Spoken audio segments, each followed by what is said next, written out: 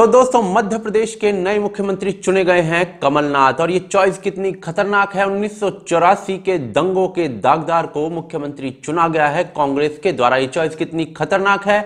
और हमारे लिबरल पत्रकारों का मुखौटा हिपोक्रेसी किस प्रकार से उतर उतर कर टपक टपक कर बाहर आ रही है, वो हम आपको इस वीडियो में दिखाने वाले हैं। आप देखते रहिए आज की ताज़ा खबर।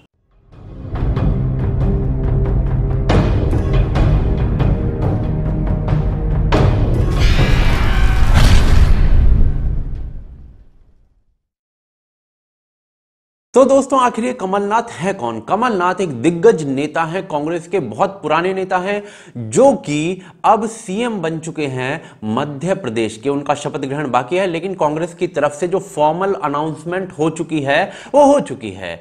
अब हम देखते हैं इनका पास्ट क्या रहा है। दिल्ली के अंदर रकाबगंज नाम का एक गुरुद्वारा है। उन्नीस सौ चौरासी में एक नवंबर का दिन था चार हज़ार लोगों की एक भीड़ जिसको कि लीड कर रहे थे कमलनाथ। ये एक्यूजेशंस लगाई हैं। संजय सूरी नाम के पत्रकार जो तत्कालीन इंडियन एक्सप्रेस में काम करते थे उस समय, उन्होंने कमलनाथ को अपनी आँखों से देखा था कि चार हज़ार लोगों के साथ ये उस गुरुद्वारे में थे, जिसमें कुछ लोगों की हत्या की गई थी और उस गुरुद्वारे को जला दिया गया था। ये बहुत महत्वपूर्ण गुरुद्वारा है सिखों की हिस्ट्री में। यहाँ पर ये गुरु तेग बहादुर सिंह का गुरुद्वारा है, जो कि जाने जाते हैं हिंद की चादर के नाम से। बहुत ही महत्वपूर्ण ये गुरुद्वारा है और यहाँ पर किलिंग्स की गई थी। ये राइट का एक प्लेस था जहाँ पर सिखों का नरसंहार किया गया था। एक मॉब थी 4000 लोग थे वेपन्स हाथ में थे, जिसको कि लीड कर रहे थे कमलनाथ। ये आपको हम सुनवाते हैं उसी प्रत्यक्षदर्शी संजय सूरी जो कि एक पत्रकार थे उनका बयान ਤੁਸੀਂ ਵਾਕਿਆ ਦੱਸ ਰਹੇ ਵੀ ਇੱਕ ਹੋਰ ਵਾਕਿਆ ਤੁਸੀਂ ਆਪਣੀ ਅੱਖੀ ਦੇਖਿਆ ਮੈਂ ਦੇਖੋ ਜੀ ਪਹਿਲੀ ਨਵੰਬਰ ਦੀ ਗੱਲ ਹੈ ਔਰ ਮੈਂ ਪਹੁੰਚਿਆ ਇੰਡੀਅਨ ਐਕਸਪ੍ਰੈਸ ਦੇ ਦਫ਼ਤਰ ਤੇ ਖਬਰ ਆਈ ਕਿ ਰਕਾਬਗੰਜ ਗੁਰਦੁਆਰੇ ਤੇ ਹਮਲਾ ਹੋ ਰਿਹਾ ਹੈ ਤੇ ਮੈਂ ਸਕੂਟਰ ਲੈ ਕੇ ਉੱਥੇ ਨੱਠਿਆ ਉੱਥੇ ਵੇਖਣਾ ਕਿ ਉੱਥੇ ਦੋ ਸਿੱਖਾਂ ਨੂੰ ਮਾਰਤਾ ਸੀਗਾ ਜਲਾ ਕੇ। ਐ ਮੇਰੇ ਸਾਹਮਣੇ ਦੀ ਗੱਲ ਹੈ, ਕਿੱਥੇ ਉਹ ਲਾਸ਼ਾਂ ਸੀਗੀ ਇਹਦੇ ਤੇ ਬਾਅਦ ਮੈਂ ਬੜੀ ਡਿਸਟਰਬਿੰਗ ਗੱਲ ਹੈ, ਮੈਂ ਨਹੀਂ ਡਿਟੇਲ ਕਹਿਣਾ ਚਾਹੁੰਦਾ। ਬਹੁਤ ਡਿਸਟਰਬਿੰਗ ਗੱਲਾਂ ਨੇ ਕਰਾਊਡ ਜਿਹੜਾ ਹੈਗਾ, ਗੁਰਦੁਆਰੇ ਸਾਹਮਣੇ ਬਾਰ-ਬਾਰ ਆ ਰਿਹਾ। ਕਰਾਊਡ ਦੇ ਨਾਲ ਕਮਲਨਾਥ ਐਮਪੀ ਖਲੋਤਾ ਹੈ। ਤੇ ਉਹ ਇਹ ਇਸ਼ਾਰਾ ਕੀਤਾ, ਇੱਕ ਵਾਰੀ ਸਾਹਮਣੇ ਵੱਡੇ ਲੋਕ ਤੇ ਨਾਲ ਮੈਂ ਕਮਲਨਾਥ ਨੂੰ ਮਿਲਿਆ ਉੱਤੇ ਕੀ ਹੋ ਰਿਹਾ ਮੈਂ ਪੁੱਛਿਆ।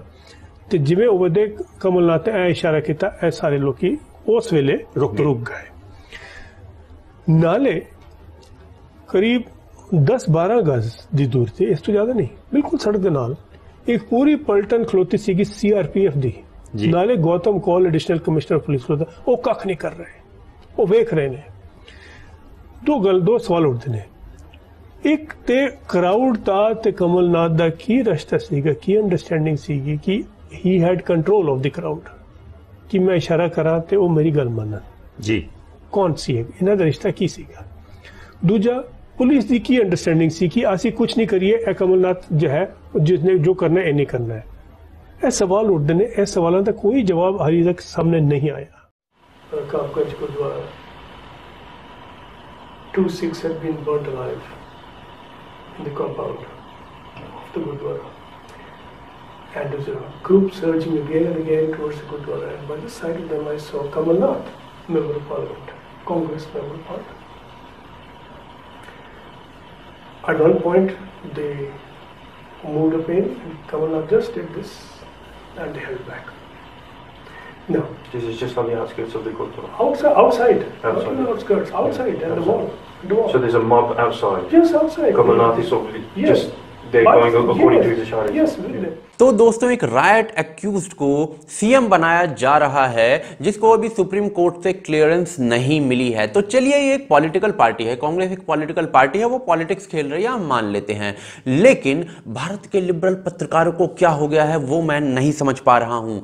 रवीश कुमार ने इस मुद्दे पर जो कि करना चाहिए था, यानी कि चौरासी के दंगों का एक्यूज बना दिया गया है। सीएम उस मुद्दे पर एक भी कवरेज नहीं की है प्राइम टाइम पर। निधि राजदान ने इस मुद्दे को एक भी बार नहीं उठाया है। अभिसार शर्मा ने, जो कि एक यूट्यूबर है, उन्होंने भी इस मुद्दे पर एक भी ट्वीट नहीं किया है। सागरिका घोष ने इस मुद्दे पर एक भी ट्वीट नहीं किया है। यह वही सागरिका घोष हैं जिन्होंने झूठा इल्ज़ाम लगा दिया था योगी आदित्यनाथ की अपॉइंटमेंट होने पर। जी हाँ उन्होंने योगी आदित्यनाथ के बारे में बोला था कि योगी आदित्यनाथ वही व्यक्ति है जिन्होंने मुर्दा मुस्लिम औरतों का रेप करने के लिए बोला था। और उसके बाद इन्होंने इस ट्वीट पर माफ़ी भी मांगी थी। इन्होंने इस ट्वीट को खुद ही झूठा बता दिया था। तो ये कितना झूठ का गेम चल रहा है। राजदीप सरदेसाई ने इस मुद्दे पर सिर्फ़ ये कहा है कि मैंने एक इंटरव्यू लिया है कमलनाथ का। इन्होंने इस मुद्दे पर एक भी बार इनकी खिंचाई नहीं की है,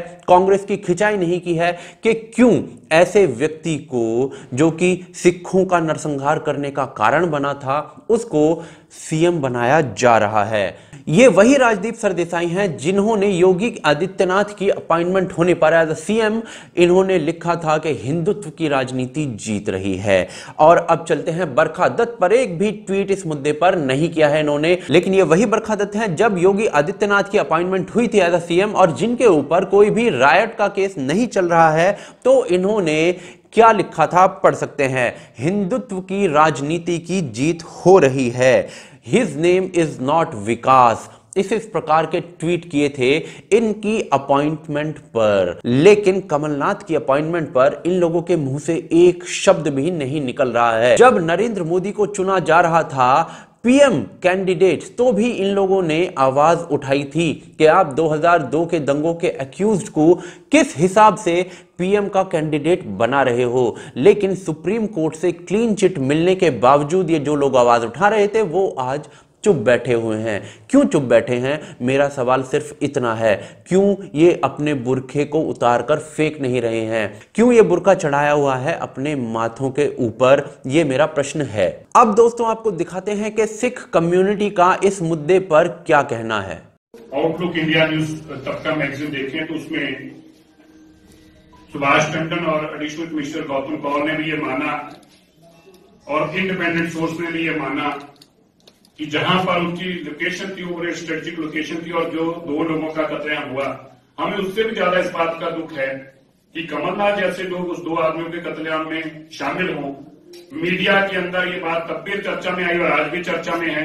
कमिश्नर पुलिस भी इस बात को माने और विटनेस भी इस बात को माने और गांधी परिवार तब भी बचा रहा था, कमलनाथ को आज भी बचा रहा था। और एक सबसे बड़ा दुख इस बात का है कि आपने कभी ये सोचा, जिस गुरुद्वारे पे आपने हमला किया जिस गुरुद्वारे पे बाहर पानी प्याऊ पे खड़े लोगों को आपने मारा, ये वो गुरुद्वारा है, जिसने मानवता के लिए, इस देश की रक्षा के लिए, इस देश के लोगों के धर्म की रक्षा के लिए अपने आप को अपने अपने अपने अपने आप को इस मानवता के लिए ऐसी बड़ी कुर्बानी दी, और खुद ही गुरु तेग बहादुर साहब ने वो कुर्बानी नहीं दी।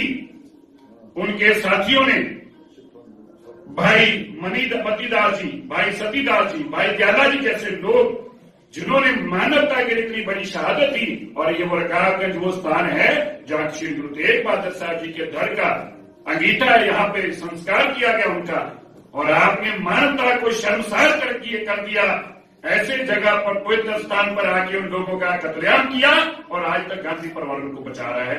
अभी भी बचाने की मानसिकता, इससे बड़ी लानत, इससे बड़ी शर्म की बात, इससे बड़ी जलालत, ऐसे दरिंदे को बचाना, जिस दरिंदे के हाथ बेगुनाह लोगों के खून से रंगे हों और वो भी उस स्थान पर जाकर जहाँ पे सबसे देश की पवित्र स्थान हो, जिस स्थान के लिए देश के अंदर धर्म को बचाने के लिए धर्मनिरपेक्षता के लिए किसी के अंतिम संस्कार की स्थान हो, गुरु तेग बहादुर साहब का उस स्थान पर जाके हमला किया जाए। क्या कांग्रेस की मानसिकता श्री दरबार साहब को गिराने की, ऐसे स्थानों को गिराने और अंतिम प्रश्न मैं पूछना चाहता हूँ, सोनिया गांधी से क्या वो कमलनाथ को मौत का सौदागर कहेंगे आज? ये प्रश्न है मेरा सोनिया गांधी से। तो दोस्तों, आपने देखा इस वीडियो में कि किस प्रकार से कांग्रेस हिपोक्रेसी दिखा रही है। सीधा सीधा प्रश्न है कि क्यों ज्योतिरादित्य सिंधिया को नहीं चुना गया सीएम कैंडिडेट? क्यों एक राइट अक्यूज को सीएम कैंडिडेट चुन लिया गया? जब वो मौत का सौदागर कह सकते हैं मोदी को तो इस मौत के सौदागर को क्यों चुना जा रहा है सीएम ये मेरा प्रश्न है। आप इस वीडियो को ज़्यादा से ज़्यादा शेयर करिए और लोगों तक पहुंचाइए। साथ ही साथ आप हमें ट्विटर और फेसबुक पर फॉलो करिए, क्योंकि कुछ मुद्दे हम वहीं पर उठा पाते हैं। आप हमें सहयोग करना चाहते हैं तो आप पेट्रियन पर हमें सहयोग कर सकते हैं, जिसका कि एड्रेस आपको दिख रहा होगा स्क्रीन पर, या फिर आई बटन में, या फिर डिस्क्रिप्शन में आपको मिल जाएगा। आपका एक छोटा सा सहयोग हमें अपने काम को आगे बढ़ाने में बहुत मदद करता है। आपका सहयोग वांछनीय है। इसके बाद यदि आप हमें ट्विटर और फेसबुक पर फॉलो करें तो बहुत अच्छा है। आप हमारे चैनल को सब्सक्राइब करिए और साथ ही साथ बेल आइकन को दबा लीजिए ताकि आपको नोटिफिकेशन हर समय पर मिल सके। आप देख रहे हैं आज की ताज़ा खबर। जय हिंद, जय भारत।